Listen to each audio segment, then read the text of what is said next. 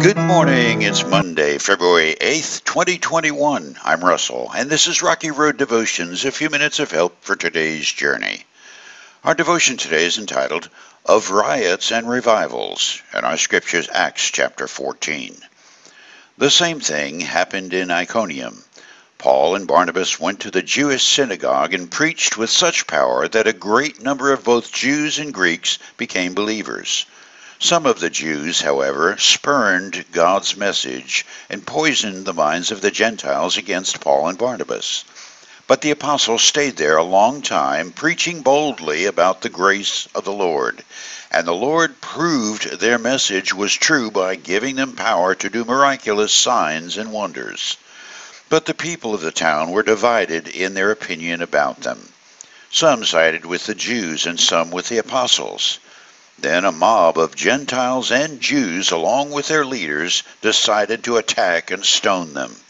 When the apostles learned of it, they fled to the region of Lycaonia, to the towns of Lystra and Derbe and the surrounding area, and there they preached the good news. Those who propose change usually get the same response from those who oppose change a riot or a revival. It's often said that the Apostle Paul always started one of those, but most often it was both. Such is the nature of what Jesus intended for the good news of God's kingdom. Matthew chapter 10. Jesus said, Don't imagine that I came to bring peace to the earth. I came not to bring peace, but a sword. I've come to set a man against his father, a daughter against her mother, and a daughter in law against her mother in law. Some will take Jesus' words out of context to sanctify unholy ambitions, such as what drove the riot at DC's Capitol last month. That aside, there's always a sense of division that comes with proclaiming Christ. That division line is a fault that opens whenever the truth is preached. It opens a clearly defined chasm between the camps of faith and unbelief. To those who recognize their sinfulness and need of a Savior, faith springs like wildflowers in the desert after a sudden downpour. To those who are resistant to bowing to any other than themselves, it brings anger, more resistance, and riot. When the gospel of Jesus Christ is proclaimed, those are the only two choices faith gladly received, or independence and rejection of the sovereign nature of Almighty God. It's either a revival or a riot.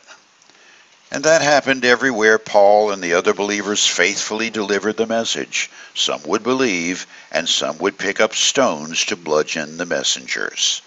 It's still that way. And what of the lasting result of such a gospel? Well, that's also predictable. The result is unity in two opposing camps. What? How can you speak of unity in opposition? Well, it's simple. Light is unified with light, and the same is true of darkness. To those who follow the light of Christ, they do not dwell with darkness. Evil cannot exist with good, neither can cold be hot. Just like two children on the playground seesaw, they'll be either up or down, but not both.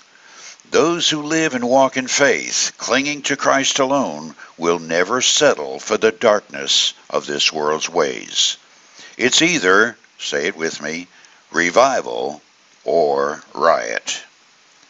For you today, bringing it down to a personal level, if you want revival, the rebirth of life within your own soul, there must be a riot against the darkness.